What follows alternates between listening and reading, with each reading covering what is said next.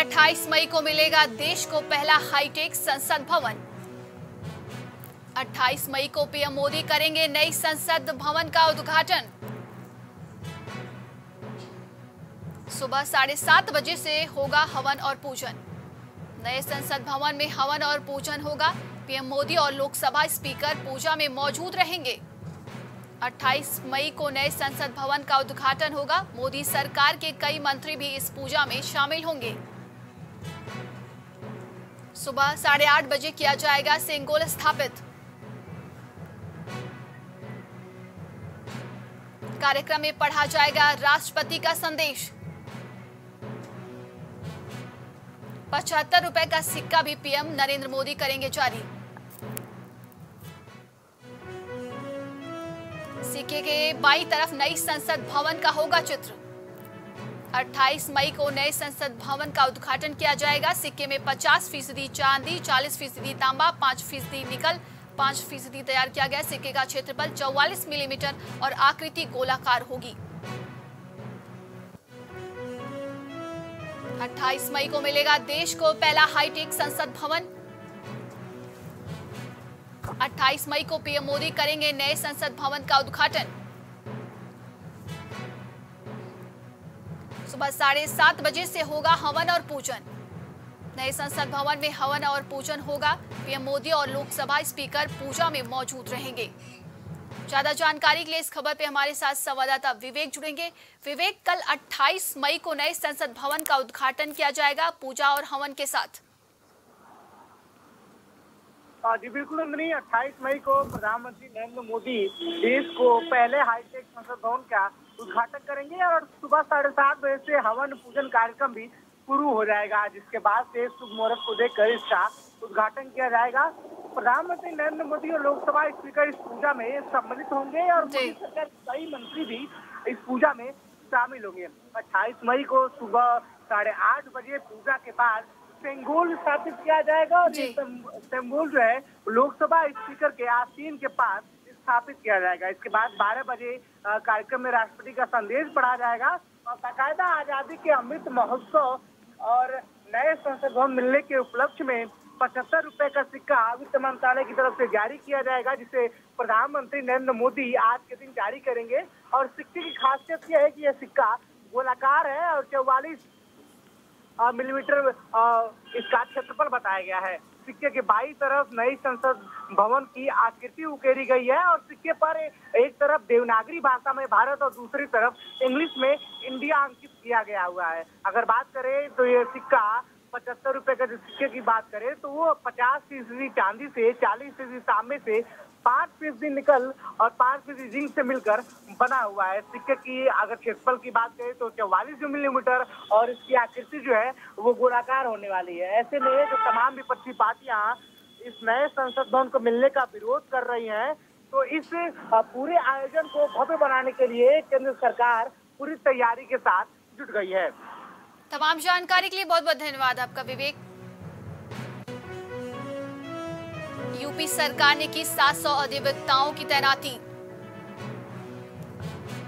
Allahabad high court और Lucknow bench में सरकार का पक्ष रखने के लिए तैनाती की गई है 700 अधिवक्ताओं की। यूपी सरकार के विभिन्न मामलों में पक्ष रखेंगे 500 विधि परामर्शी। यूपी सरकार के वित्त विभाग ने की 700 नए अधिवक्ताओं की सूची जारी। लाउड स्पीकर पर सीएम योगी का हंटर, खबर लखनऊ से है। लाउड स्पीकर की संख्या और आवाज़ को लेकर चलाया जाएगा अभियान। कई इलाकों में धर्म स्थलों पर लगे लाउड स्पीकर की पुलिस जाँच करेगी। ज़्यादा जानकारी के लिए इस खबर पे हमारे साथ संवाददाता विभांशु जुड़ेंगे। विभांशु लाउड स्पीकर पर सीएम योगी ने एक बार फिर से एक्शन दिखाया है और अब पुलिस जाँच करेगी इसको लेकर।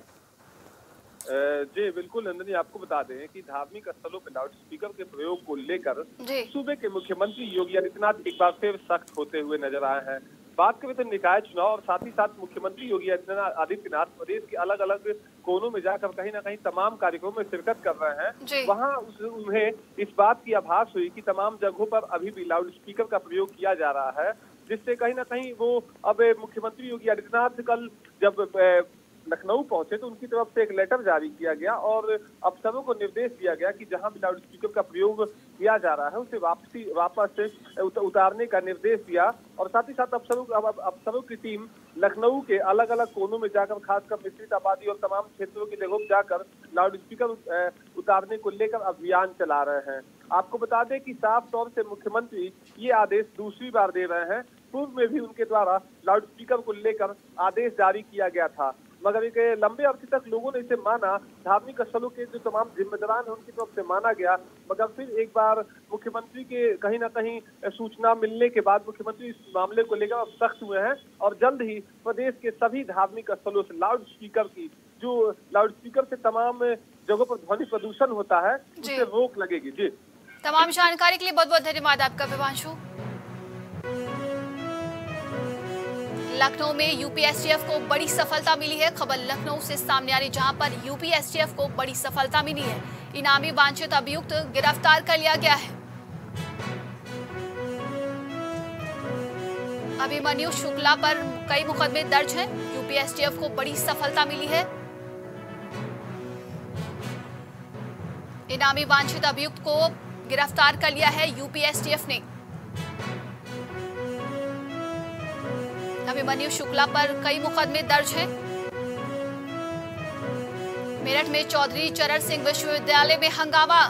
खबर मेरठ से सामने आ रही है, जहाँ पर चौधरी चरण सिंह विश्वविद्यालय में हंगामा हुआ है। शपथ ग्रहण समारोह में जमकर बवाल हुआ है। वंदे मातरम गाने पर खड़े न होने के बाद जमकर हंगामा किया है। एआईएम, आईएम और भाजपा पार्षद आपस में भिड़े। खबर मेरठ से सामने आ रही है। मामले को बढ़ता देख भारी पुलिस बल मौके पर हुई तैनात। बड़ी खबर मेरठ से है, हंगामे की भेंट चढ़ा मेयर का शपथ ग्रहण समारोह। चौधरी चरण सिंह विश्वविद्यालय में हंगामा हुआ है, खबर मेरठ से है। शपथ ग्रहण समारोह में जमकर बवाल हुआ है। ज़्यादा जानकारी के लिए इस खबर में हमारे साथ संवाददाता राजन जुड़ेंगे। राजन, शपथ ग्रहण समारोह में जमकर बवाल हुआ है। क्या कुछ अधिक जानकारी है इसको लेकर? देखिए नंदिनी, बिल्कुल चौधरी चरण सिंह विश्वविद्यालय के सुभाष चंद्र बोस ऑडिटोरियम में ये शपथ ग्रहण समारोह था, जिसमें मेयर और मेरठ के 90 वार्डों के पार्षदों का शपथ ग्रहण समारोह था, जिसमें मुख्य अतिथि के तौर पर मंत्री नरेंद्र कश्यप पहुँचे थे। वहीं जब राष्ट्रीय गीत शुरू हुआ वंदे मातरम का तो इस पर बीजेपी की तरफ़ से आरोप है कि एमआईएम कि पार्टी के जो पार्षद हैं, उन्होंने जमकर बवाल किया है और वो सीट से नहीं खड़े हुए। तो जिस राष्ट्र में रहते हैं, उस राष्ट्रीय गीत का जो इन्होंने अपमान किया है, इसको लेकर भारतीय जनता पार्टी के पार्षदों ने एमआईएम के जो पार्षद थे, उनके साथ में हाथापाई करी। इस तरीके की बात जो है खबर फैली है। और वहीं इस मामले को देखते हुए भारी पुलिस बल चौधरी चरण सिंह विश्वविद्यालय में पहुँचा और मामले को किसी तरीके से शांत कराया। वहीं अधिकारियों को कहना है कि जो भी इसमें गलती पाई जाएगी, जिसके भी विरुद्ध उसके खिलाफ कानूनी कार्रवाई की जाएगी। तो वहीं जो मेयर है जो मेरठ की कमिश्नर है, सेल्वा कुमारी जी ने उन्होंने ग्रुप बनाकर पार्षदों का वहाँ पर शपथ ग्रहण समारोह कराया। वहीं से बिना शपथ के ही एमआईएम के पार्टी के जो पार्षद थे, वो वहाँ से निकल गए। फ़िलहाल मामले की जो जानकारी मिली है, वो पुलिस की तरफ़ से यही कहा गया है कि इसमें जो भी दोषी होगा, जिसकी तरफ़ से भी इस तरीके की गलती की गई होगी, उसके खिलाफ पुलिस अपने तरीके से कार्रवाई करेगी। वहीं बीजेपी का आरोप है कि वंदे मातरम जिस रास्ते में रहकर जिस राष्ट्रीय गीत का अपमान किया जाएगा, उसके खिलाफ संगठन और कानून अपनी तरीके से कार्रवाई करेगा। जी। तमाम जानकारी के लिए बहुत बहुत धन्यवाद आपका, राजन। लखनऊ में आलमबाग बस स्टेशन की केंद्र प्रभारी ज्योति अवस्थी निलंबित। बड़ी खबर लखनऊ से आपको बता दें, ज्योति अवस्थी के कई वीडियो पहले भी हो चुके हैं वायरल। यात्रियों के साथ भी मारपीट के कई वीडियो इंटरनेट पर वायरल हुए थे। ज्योति अवस्थी को निलंबित कर दिया गया। प्रधान प्रबंधक अशोक कुमार ने ज्योति अवस्थी के ऊपर कार्रवाई की है। आरोपों पर दोषी पाए जाने पर ज्योति अवस्थी के ऊपर गिरीगाज। आलमबाग बस स्टेशन के केंद्र प्रभारी ज्योति अवस्थी को निलंबित कर दिया गया। ज्योति अवस्थी के कई वीडियो पहले भी हो चुके हैं वायरल।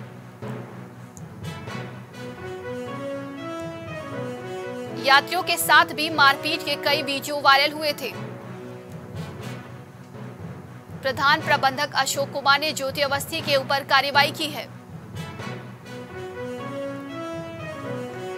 आरोपों पर दोषी पाए जाने पर ज्योति अवस्थी के ऊपर गिरी गाज जिसके बाद उनको निलंबित कर दिया गया।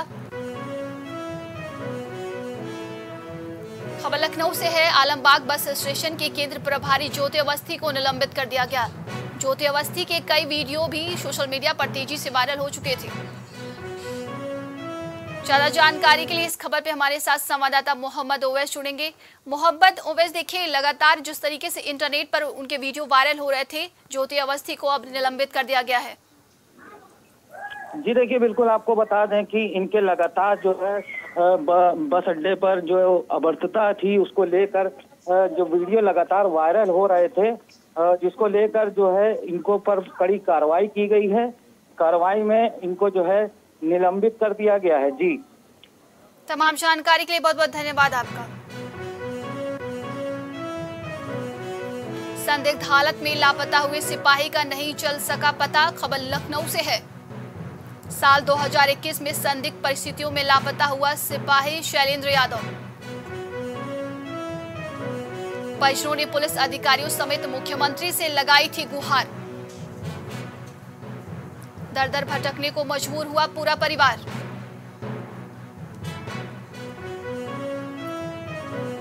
ड्यूटी पर तैनाती के दौरान संदिग्ध हालत में हुआ था लापता। यूपी में लाउड स्पीकर को लेकर सीएम की चेतावनी, खबर बुलंदशहर से है। अधिकारियों को सीएम की चेतावनी के बाद बुलंदशहर में कार्रवाई की गई। बुलंदशहर पुलिस ने ध्वनि प्रदूषण फैला रहे लोगों पर कार्रवाई की है। ध्वनि सिस्टम लगाकर प्रदूषण फैला रहे लोगों पर दर्ज हुई एफआईआर। बहासू थाना क्षेत्र गाँव में मानकों के विपरीत लगे थे लाउड स्पीकर फरीदाबाद में एंटी करप्शन ब्यूरो की बड़ी कार्रवाई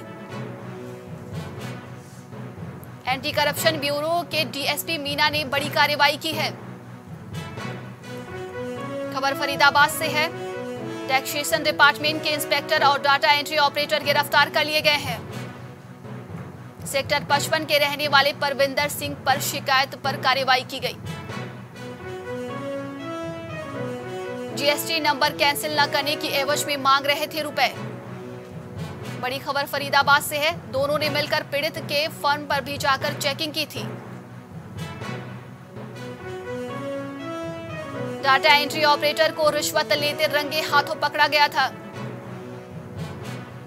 पंद्रह हज़ार की रिश्वत लेते हुए ऑपरेटर गिरफ़्तार।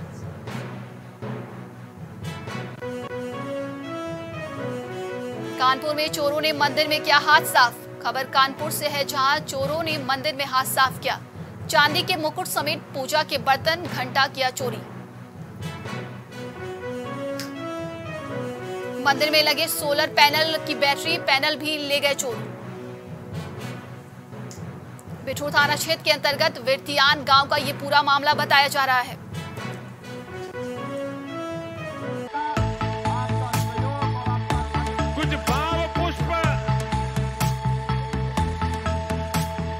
आप देख रहे हैं प्राइम टीवी सच साहस